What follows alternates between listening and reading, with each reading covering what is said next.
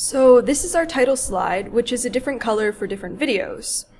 It's a template that I edit on Inkscape, a program between Paint and Photoshop. A typical introduction is as follows. Oscillation simply means to move back and forth in a repetitive pattern around an equilibrium point. Oscillations can be found in a mass hanging on a spring, stringed instruments, a car trapped on a frictionless track between two bumpers, a speaker, the crystal oscillator in quartz watches, molecular vibrations, the release of insulin into the bloodstream, and an adolescent on a swing. The first process is just scripting out the video, figuring out what I'm going to draw and say. So I write on the backside of sheets where I've made errors while trying to film in the last video, and there are a lot of them and I get the scripts checked out by Sarah, who gives comments and suggestions. I use OpenShot, a Linux-only free video editor that is under development. So I cut up sections of raw footage and match their speed to the speed of the sound clips. So there are a variety of built-in transitions, though I tend to use the simplest in the videos just to keep everything clean and looking sharp.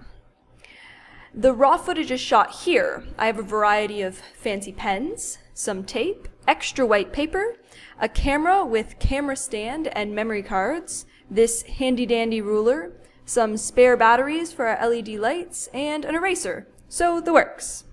For sound clips, I use Audacity, which is a sound recording program also on Linux. I can remove the background noise really easily and normalize the recordings so that they're all the same volume.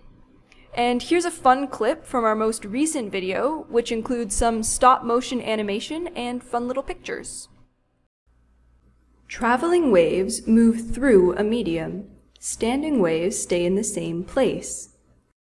Standing waves are caused by the interference of the reflected and initial waves in a medium. The decibel scale compares the intensity of sound to the threshold of human hearing.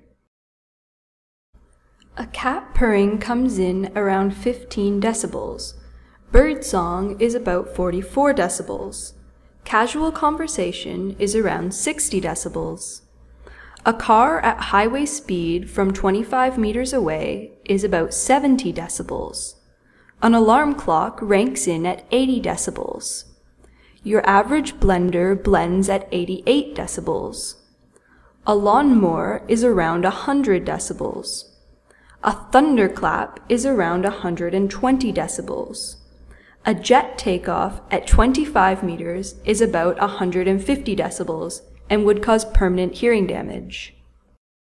One feature of note are auxiliary videos, which are included as clickable links and they pop up at the appropriate times during the main video.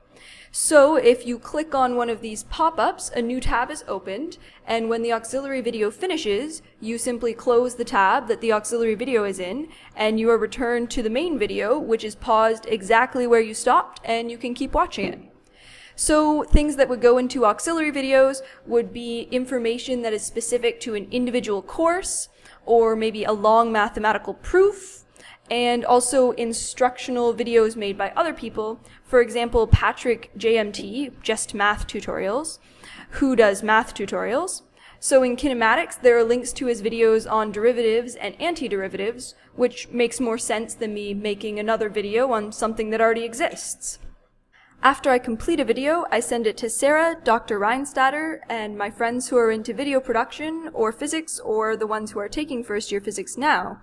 They give me suggestions, help check for errors, and tell me if any parts are unclear or things they think I could improve. So then I go through the video, I fix any errors, I'll redo unclear sections or do new voiceovers for parts, and then publish the completed video.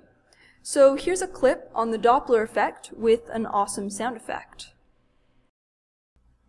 If Jeff listens to a sound while neither the source nor Jeff is moving, he hears the true pitch or frequency. If Jeff listens to the sound while the source moves away from him, the wave is more spread out and the pitch appears lower to Jeff than it really is. If the source moves towards Jeff, the opposite occurs and the sound appears higher because the areas of expansion and compression are closer together. If Annie drives by Jeff on her motorcycle, The frequency perceived by Jeff is first increased as she moves towards Jeff, then decreased as she drives away. At the end of each video, we have a final slide that acknowledges McMaster University and funding and whatnot. And the entire process of making one of these videos takes about two weeks.